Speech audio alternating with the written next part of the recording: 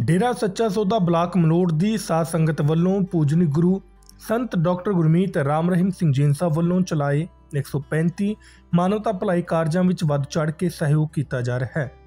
ਲੋੜਵੰਦ ਪਰਿਵਾਰਾਂ ਦੀ ਲੜਕੀ ਦੀ ਸ਼ਾਦੀ ਵਿੱਚ ਸਹਿਯੋਗ ਕਰਨਾ ਹੋਵੇ ਜਾਂ ਫਿਰ ਲੋੜਵੰਦ ਮਰੀਜ਼ ਦਾ ਇਲਾਜ ਕਰਵਾਉਣਾ ਹੋਵੇ ਜਾਂ ਫਿਰ ਐਮਰਜੈਂਸੀ ਦੌਰਾਨ ਮਰੀਜ਼ ਨੂੰ ਖੂਨਦਾਨ ਕਰਨਾ ਹੋਵੇ, ਇਸ ਤੋਂ ਇਲਾਵਾ ਹੋਰ ਵੀ ਮਾਨਵਤਾ ਭਲਾਈ ਦੇ ਕਾਰਜ ਹਨ ਜੋ ਬਲਾਕ ਮਲੋੜ ਦੀ ਸਾਧ ਸੰਗਤ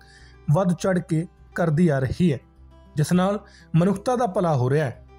ਇਸ ਮਾਨਵਤਾ ਭਲਾਈ ਦੀ ਕੜੀ ਤਹਿਤ ਬਲਾਕ ਮਲੋੜ ਦੀ ਸਾਧ ਸੰਗਤ ਦੇ ਸਹਿਯੋਗ ਨਾਲ ਹਰ ਮਹੀਨੇ ਲੋੜਵੰਦ ਪਰਿਵਾਰਾਂ ਨੂੰ ਮਹੀਨੇ ਦਾ ਰਾਸ਼ਨ ਮੁਫਤ ਵੰਡਿਆ ਜਾਂਦਾ ਹੈ ਅਤੇ ਐਤਵਾਰ ਨੂੰ ਡੇਰਾ ਸੱਚਾ ਸੌਦਾ ਸਾਂਝਾ ਧਾਮ ਮਲੋਟ ਵਿਖੇ ਲੋੜਵੰਦ ਪਰਿਵਾਰਾਂ ਨੂੰ ਰਾਸ਼ਨ ਵੰਡਿਆ ਗਿਆ ਹੈ।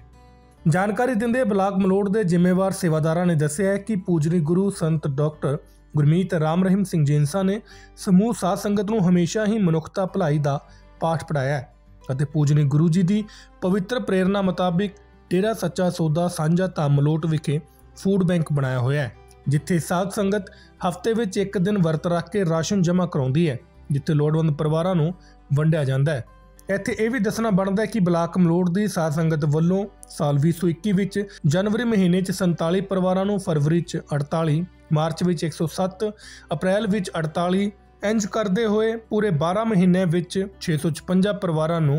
ਇੱਕ ਮਹੀਨੇ ਦਾ ਰਾਸ਼ਨ ਮੁਫਤ ਵੰਡਿਆ ਗਿਆ।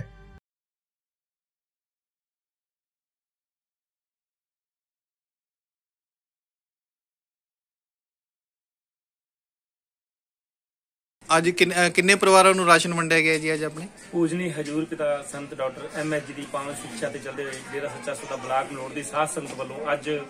ਫੂਡ ਬੈਂਕ ਰਾਹੀਂ 51 ਜ਼ਰੂਰਤਮੰਦ ਪਰਿਵਾਰਾਂ ਨੂੰ ਮਹੀਨੇ ਭਰ ਦਾ ਰਾਸ਼ਨ ਵੰਡਿਆ ਗਿਆ ਜੀ। ਇਹ ਪ੍ਰੇਮੀ ਸੌਰਵ ਇਨਸਾਨ ਜਿਨ੍ਹਾਂ ਦਾ ਅੱਜ ਜਨਮ ਦਿਨ ਸੀ, ਉਹਨਾਂ ਦੇ ਪਿਤਾ ਸ਼੍ਰੀ ਸੁਰੇਸ਼ ਗੋਇਲ, ਚਾਚਾ ਸ਼੍ਰੀ ਰਾਮ ਗੋਇਲ, ਇਹਨਾਂ ਦੇ ਸਹਿਯੋਗ ਨਾਲ, ਗੋਇਲ ਪਰਿਵਾਰ ਦੇ ਸਹਿਯੋਗ ਨਾਲ ਜ਼ਰੂਰਤਮੰਦ 51 ਪਰਿਵਾਰਾਂ ਨੂੰ ਰਾਸ਼ਨ ਵੰਡਿਆ ਜਾ ਰਿਹਾ ਹੈ ਜੀ। ਤੇ ਇਹ ਆਪਣੇ ਕਿਸ ਤਰ੍ਹਾਂ ਆਪਣਾ ਤੁਸੀਂ ਇੰਤਜ਼ਾਮ ਕਰਦੇ ਹੋ ਰਾਸ਼ਨ ਦਾ ਤੇ ਕਿਵੇਂ ਵੰਡਿਆ ਜਾਂਦਾ ਹੈ ਜੀ ਪੂਜਨੀਕ ਹਜੂਰ ਪਿਤਾਈ ਦੀ ਪਾਵਨ ਸਿੱਖਿਆ ਦੇ ਚੱਲਦੇ ਡੇਰਾ ਸੱਚਾ ਸੌਦਾ ਦੀ ਸਾਧ ਸੰਗਤ ਵੱਲੋਂ 134 ਤੋਂ ਵੱਧ ਮਾਨਤਾ ਭਲਾਈ ਦੇ ਕੰਮ ਆਰੰਭੇ ਹੋਏ ਹਨ ਜੀ। ਉਹਨਾਂ ਵਿੱਚ ਇੱਕ ਹੈ ਫੂਡ ਬੈਂਕ ਫੂਡ ਬੈਂਕ ਜੋ ਕਿ ਜ਼ਰੂਰਤਮੰਦਾਂ ਵਾਸਤੇ ਬਣਾਇਆ ਗਿਆ ਜਿਸ ਵਿੱਚ ਸਾਰੇ ਮਹੀਨੇ ਭਰ ਦਾ ਜੋ ਸਾਧ ਸੰਗਤ ਵੱਲੋਂ ਹਫ਼ਤੇ ਵਿੱਚ ਇੱਕ ਦਿਨ ਵਰਤ ਰੱਖਿਆ ਜਾਂਦਾ ਹੈ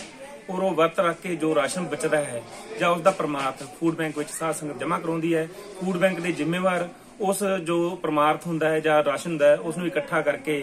ਉਹ ਸਿਸਟਮ ਬਣਾ ਲੈਂਦੇ ਆ ਜਿਸ ਤਰ੍ਹਾਂ ਰਾਸ਼ਨ ਦੀਆਂ ਕਿੱਟਾਂ ਬਣਾਈਆਂ ਜਾਂਦੀਆਂ ਤਾਂ ਉਹ ਜਿੰਨੇ ਵੀ ਜ਼ਰੂਰਤਮੰਦ ਪਰਿਵਾਰਾਂ ਦੀ ਸਾਡੇ ਕੋਲ ਲਿਸਟ ਆਉਂਦੀ ਹੈ ਪਰ ਅਸੀਂ ਉਹ ਰਾਸ਼ਨ ਉਹਨਾਂ ਜ਼ਰੂਰਤਮੰਦ ਪਰਿਵਾਰਾਂ ਨੂੰ ਬੁਲਾ ਕੇ ਨਾਮ ਚਰਚਾ ਦੇ ਦੌਰਾਨ ਅਸੀਂ ਉਹਨਾਂ ਨੂੰ ਵਿਤਰਿਤ ਕਰਦੇ ਹਾਂ ਜੀ। ਇਹ ਹਰ ਮਹੀਨੇ ਵੰਡਿਆ ਜਾਂਦਾ ਹੈ ਕਿ ਕਿਸੇ ਖਾਸ ਪ੍ਰੋਗਰਾਮ ਹਰ ਮਹੀਨੇ ਹੀ ਇਹ ਰਾਸ਼ਨ ਲਗਾਤਾਰ ਵੰਡਿਆ ਜਾ ਰਿਹਾ ਪਿਛਲੇ ਕਈ ਸਾਲਾਂ ਤੋਂ ਇਸੇ ਤਰ੍ਹਾਂ ਇਹ ਲਗਾਤਾਰ ਜਾਰੀ ਹੈ ਜੀ। ਤੇ ਕਿੱਥੋਂ ਪ੍ਰੇਰਣਾ ਤੁਹਾਨੂੰ ਮਿਲੀ ਹੈ ਜੀ ਇਹ? ਕਿਸ ਇਹ ਤਰ੍ਹਾਂ ਪੂਜਨੀਕ ਹਜੂਰ ਪਿਤਾ ਸੰਤ ਡਾਕਟਰ ਗੁਰਮੀਤ ਰਾਮ ਰਹੀਮ ਸਿੰਘ ਜੀ ਇਨਸਾਨ ਜਿਨ੍ਹਾਂ ਦੀ ਪਾਵਨ ਸਿੱਖਿਆ ਦੇ ਚੱਲਦੇ ਹੋਏ ਸਾਧ ਸੰਗਤ ਇਸ ਤਰ੍ਹਾਂ ਦੇ ਅਨੇਕਾਂ ਮਾਨਤਾ ਭਲਾਈ ਦੇ ਕੰਮ ਕਰਦੀ ਹੈ ਤਾਂ ਇਹ ਸਾਧ ਸੰਗਤ ਦੇ ਜੋ ਪਿਤਾ ਜੀ ਦੀ ਰਹਿਮਤ ਨਾਲ ਹੀ ਸਾਰਾ ਸਾਧ ਸੰਗਤ ਕਰਦੀ ਹੈ देश विदेश की तमाम खबरों से जुड़े रहने के लिए सब्सक्राइब करें सच कहूँ और बेल आइकन प्रेस करके पाएं हर लेटेस्ट अपडेट सबसे पहले